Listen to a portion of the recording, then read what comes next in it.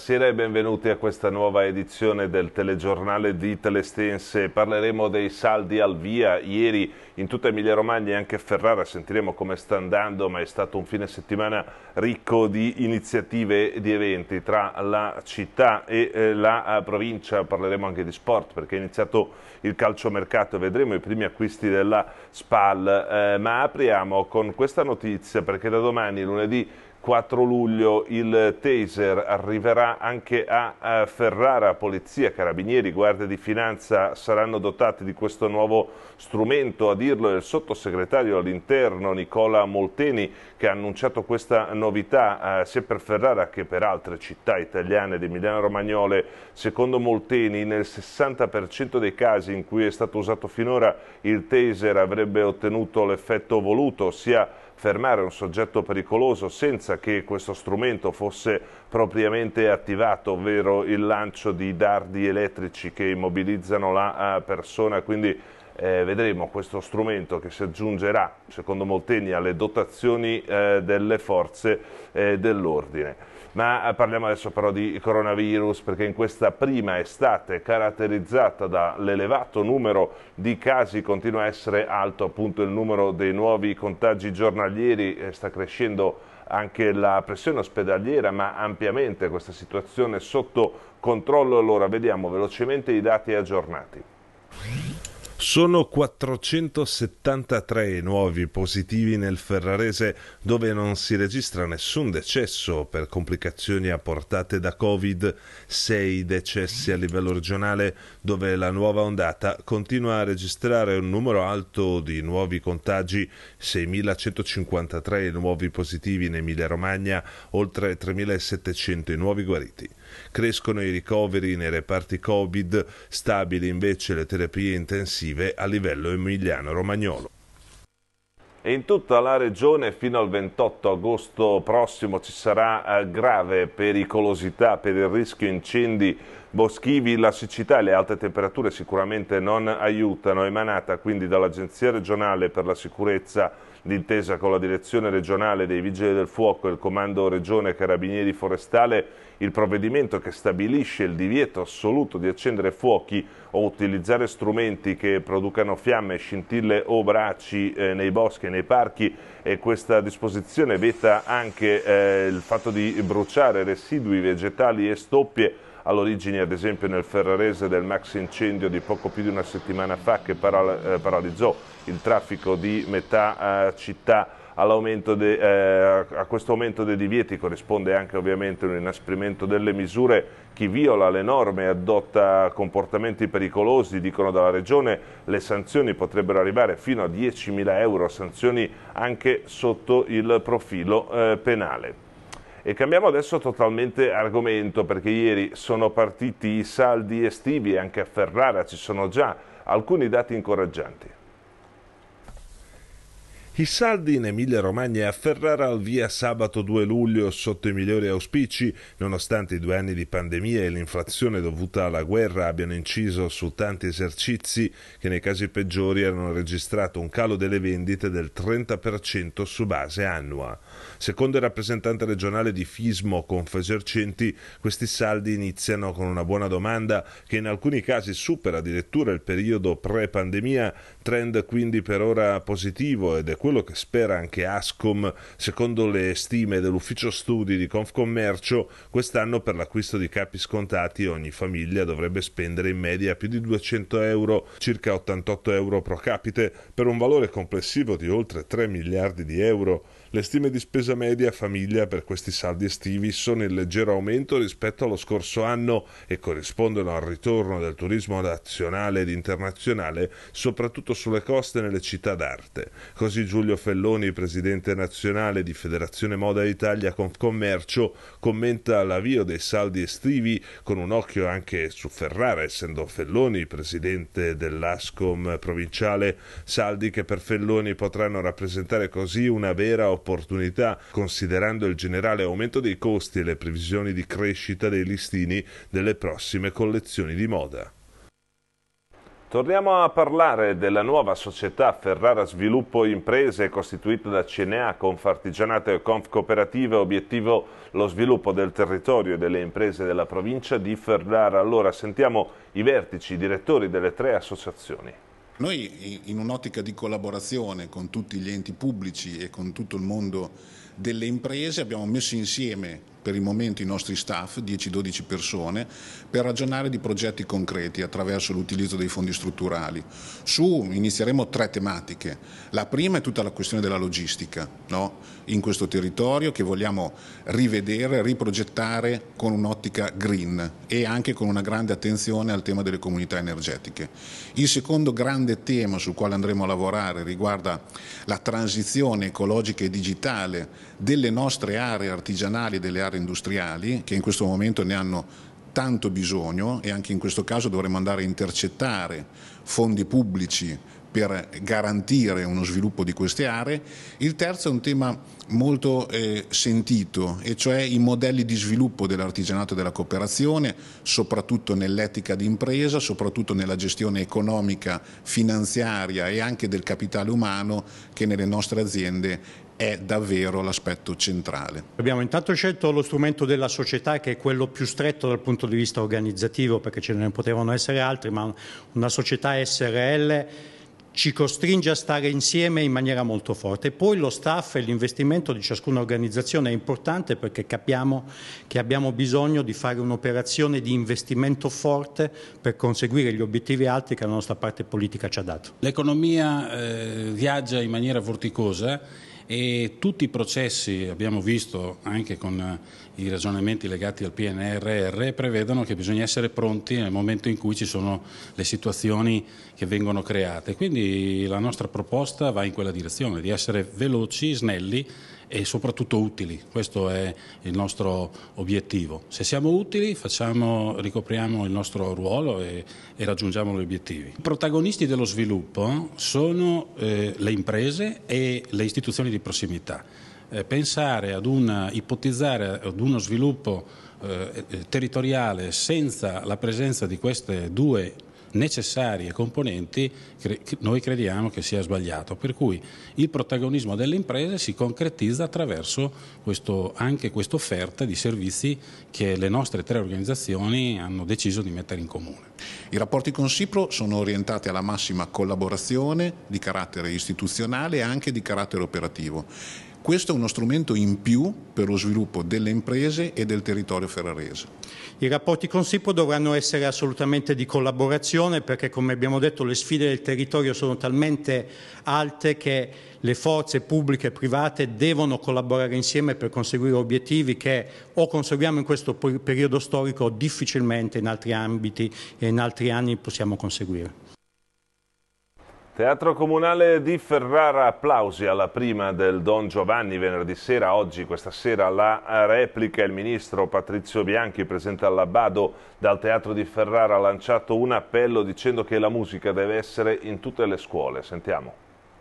È stato un applauditissimo Don Giovanni quello che ha debuttato venerdì 1 luglio al Teatro Abbado. La nuova produzione della Fondazione Teatro Comunale di Ferrara è stata acclamata più volte durante lo spettacolo, con un applauso finale durato quasi sei minuti. Lo spettacolo, replicato domenica 3 luglio alle ore 20, poi volerà in Corea del Sud, dove è in cartellone il 7-8 ottobre alla Daegu Opera House. Il dramma giocoso con intramontabile musica di Mozart sul libretto libretto di Lorenzo da Ponte è stato interpretato da un cast scelto da Leone Magera, direttore musicale della produzione ferrarese e noto scopritore di talenti del bel canto, insieme a Daniel Smith, che ha diretto l'orchestra Città di Ferrara. Il ministro dell'istruzione, il ferrarese Patrizio Bianchi, presente alla prima, ha incontrato il maestro Magera ringraziandolo per l'operazione compiuta. Un Don Giovanni bellissimo, un Don Giovanni che ha riscoperto l'essenzialità della musica di Mozart,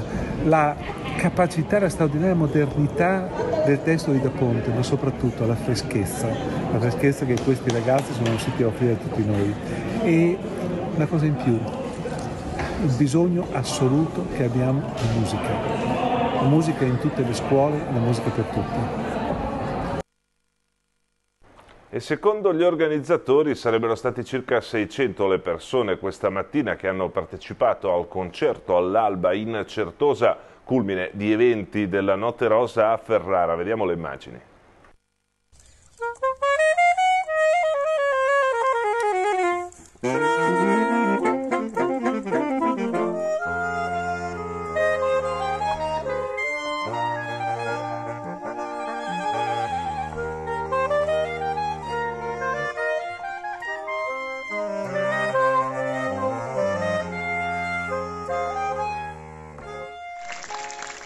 La musica ha salutato l'arrivo del giorno in Certosa nel concerto dell'Alba che domenica mattina ha segnato circa 600 presenze dopo le altrettante registrate sabato per l'esibizione serale nella stessa location dell'Orchestra Città di Ferrara e del Coro Polifonico Santo Spirito con la direzione del maestro australiano Daniel Smith e con alcuni solisti selezionati dal maestro Leone Magera. Per l'occasione era presente anche il ministro Patrizio Bianchi la musica è stata così il culmine della programmazione della Notte Rosa a Ferrara, che ha visto nel fine settimana anche le aperture straordinarie serali del Castello Estense di Porta Paola. Domenica mattina a salutare l'alba dei suoni, alle 6 nel giardino della Certosa, è stato il quartetto di sassofoni del Conservatorio Frescobaldi che ha proposto un repertorio che ha spaziato da C'era una volta il West di Ennio Morricone a Libertango di Astor Piazzolla e poi altri grandi classici con Bohemian Rhapsody dei Queen,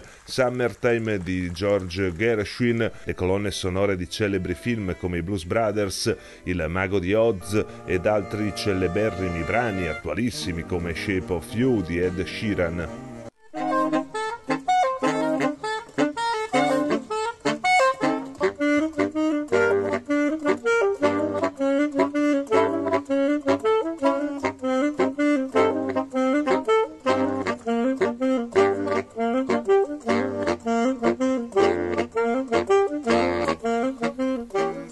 L'esperienza dell'anno scorso, quest'anno abbiamo raddoppiato gli appuntamenti musicali in Certosa, ha sottolineato l'assessore Matteo Fornasini, mentre il presidente della holding Ferrara Servizi, che ha sede proprio in Certosa, Luca Cimarelli, ha ricordato che la Notte Rosa non è solo riviera, ma anche città d'arte.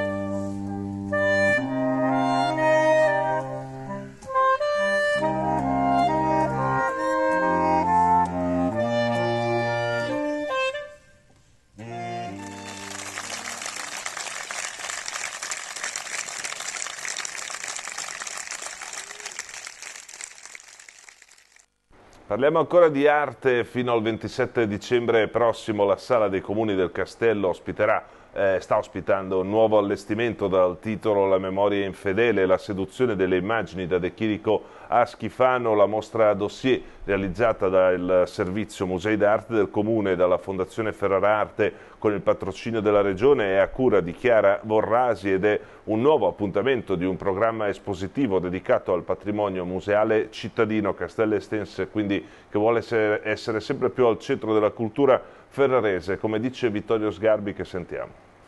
Durante l'estate e magari in una giornata di pioggia, Ferrara è un luogo magico che ha un centro che è il cuore del mondo, che è il castello. Le cose accadono qua, sono accadute qua ai tempi degli estensi e qui oggi si possono vedere le mostre di Adelchi Riccardo Mantovani, un grande sognatore, un ferrarese che è vissuto a Berlino e ha continuato a provare nostalgia per Ferrara e per i suoi luoghi e per i suoi sogni e per i suoi miti incrociati con la sua storia personale. E nell'amministrazione dei musei, di cui oggi io sono il presidente, c'è stato un personaggio molto singolare, un maestro di scuola, pieno di intuizione e di sensibilità, che si chiamava Franco Farina. Per 30 anni ha governato Palazzo dei Diamanti e i musei di Ferrara e ha fatto tutte le mostre più importanti che potevano fare in quegli anni, negli anni 60-70, quando non c'erano musei d'arte contemporanea in Italia, c'erano collezioni, c'erano gli uffizi, c'erano tutto quello che si può vedere, ma l'arte contemporanea, gli autori che agiscono nel nostro tempo e in tutto il mondo, passarono per Ferrara in quei 30 anni. Della esperienza evidentemente molto onesta di questo maestro Franco Farina, restano alcuni scritti, le mostre, i cataloghi e alcuni quadri della sua collezione privata che la moglie, Lola Bonora, che con lui seguì l'avventura dell'arte contemporanea, soprattutto nell'area dei video, ecco, quei quadri furono in parte tra le poche cose che lui raccolse, si vede De Chirico, Carlo Mattioli, eh, si vedono cose non di primissimo impegno per questi artisti, ma che forse erano regali che venivano dati al direttore. Tra le cose più importanti però ci sono due dipinti di Leonor Fini, una straordinaria pittrice che è triestina di origine, maturò e visse a Parigi, nel mondo di tutti i grandi pittori del surrealismo e dipinse alcune opere che oggi sono tornate di grande attenzione perché sono sogni, fantasie, sono psicoanalisi che diventa pittura. E quindi abbiamo due esempi che appartengono adesso ai musei di Ferrara, il crepuscolo del mattino e questa memoria infedele, perché l'idea è che questo dipinto, questo dipinto che richiama gli idilli della pittura del Rinascimento, che lei immagina e reinventa negli anni 70, sia ricordato a memoria mentre lo vede un paggio settecentesco, che però lo ricorda con qualche variazione. Memoria infedele. Ecco, è un divertimento di un'intelligenza concettuale propria di molti artisti che hanno scelto di fare sperimentazioni, ce n'è uno che si chiama Giulio Paolini che gioca con, con fotografie, concetti, idee. Lei con la pittura ha fatto sogno e arte concettuale ha messo insieme due dipinti che diventano la memoria di uno senza averlo rivisto. Eccolo qua, sono due capolavori assoluti di altissimo valore che meritano il vostro viaggio a Ferrara e la vostra presenza al castello per vedere Adelchi Riccardo Mantovani, l'ultimo sognatore, e Leonor Fini, la sognatrice di un mito e di un mondo perduto. Andiamo in provincia di Ferrara, adesso torniamo a parlare della sagra di Mezzogoro che si è conclusa nei giorni scorsi, sagra che è stata inaugurata dai ciclisti della squadra Bardiani arrivati direttamente dal Giro d'Italia accompagnati dall'ammiraglia storica del 1958 durante la sagra si sono potute ammirare le bici e le maglie del Giro dai tempi gloriosi di Fausto Coppi sino a quelli dei grandi successi di Marco Pantani. Fausto Pezzi in questo piccolo corner di storia con tanta storia per eh, parlare di quello che Ghigi ha fatto in questi anni per non dimenticare con i campioni. Eh, sì, siamo venuti qui a Mezzogoro a, a, portare un po' di ricordi di, di, quegli anni, sono 60 anni che proprio 60 anni fa la Ghigi correva al Giro d'Italia e quindi c'è stata questa idea di portare un po' di ricordi di quella squadra, di portare sempre avanti eh, la storia del ciclismo e soprattutto la storia di questo marchio che eh, ha dato tanto alla storia del ciclismo e adesso è ritornato ancora a sponsorizzare una squadra di professionisti e quindi ci è sembrato giusto e bello ricordare un po' la storia da dove, da dove è venuto pezzi, dicevamo, unici, ce ne può solo citare qualcuno, abbiamo visto dei nomi esemplari. Pantani, Coppi, ma solo per citarne qualcuno. Ma eh, qui c'è un po' la storia diciamo, di mio padre che è stato prima un corridore professionista eh, negli anni 50, quindi nel periodo di Coppi e poi dopo è stato direttore sportivo di tanti corridori, tra cui anche della Ghigi e diciamo c'è un po' la storia della sua vita a partire da, dalla maglia di Fausto Coppi del Tour de France del 52, quello che mio padre ha corso con lui in nazionale italiana e poi fino ad arrivare appunto alla Salvarani, alla Ghigi che sono, squadre, sono state sue squadre e, e, poi a Marco Pantani che è stato diciamo, l'ultimo corridore che lui ha voluto eh, rimettere in bicicletta dopo gli incidenti che aveva avuto e dopo Marco ci ha regalato quelle fantastiche emozioni nel giro del Tour del 98. Questa è storia, dicevamo, per gli appassionati, però potrebbe essere anche storia da spiegare a un bambino che per la prima volta entra magari in questo piccolo spazio e vede questa esposizione con queste biciclette storiche. Eh, sì, perché diciamo che oggi il ciclismo è, un, è uno sport molto tecnologico, è molto moderno, con dei materiali addirittura di derivazione spaziale sulle biciclette, quindi c'è uno studio molto importante sull'aerodinamica, sulla leggerezza dei materiali, però appunto è bello raccontare e far vedere da dove viene tutto questo, quindi qui ci sono bici in acciaio con i primi cambi a mano senza ancora i deragliatori, ci sono le bici, la transizione che porta dal ferro all'alluminio fino ad raggiungere al giorni d'oggi la tecnologia più moderna, quindi è interessante per uno che non conosce la storia della bicicletta perché può vedere una piccola evoluzione attraverso eh, le cose appartenute ai campioni. Franco Canciani, lei ha questa maglia in mano perché questa maglia lei la conosce, se la ricorda bene, lei ha corso con questa maglia? Nel 61 ero professionista con la Ghigi, ero onorato di correre con la Ghigi perché avendo fatto il militare a Rimini ho conosciuto bene i romagnoli e per me